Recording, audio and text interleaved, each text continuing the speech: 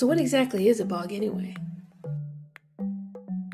A bog is one of five types of wetland, where the water is acidic and low in nutrients. It accumulates peat, a deposit of dead plant material, which is usually made from sphagnum moss. There are five different types of bogs.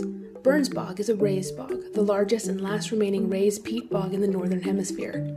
Burns Bog started to form in 5000 BCE as the glaciers that covered the lower mainland began to melt, forming a lake that was a mixture of salt and fresh water. Over thousands of years, plants would grow and die around the water, and the organic material would sink to the bottom of the lake.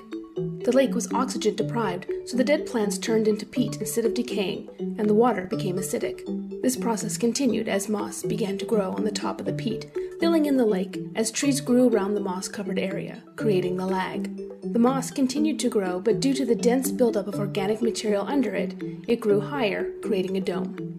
As a wetland, bogs are important habitats for a variety of plants and animals, but they're also important to all life as they clean more carbon from the air than rainforest. You may think that a bog would be smelling, like a swamp, but in fact, because of the acidic water that prevents bacteria, bog water works as a natural preservative, preventing decay.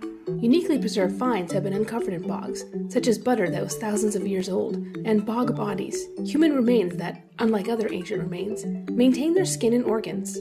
The oldest bog body was found in Denmark and dates back to 8000 BCE.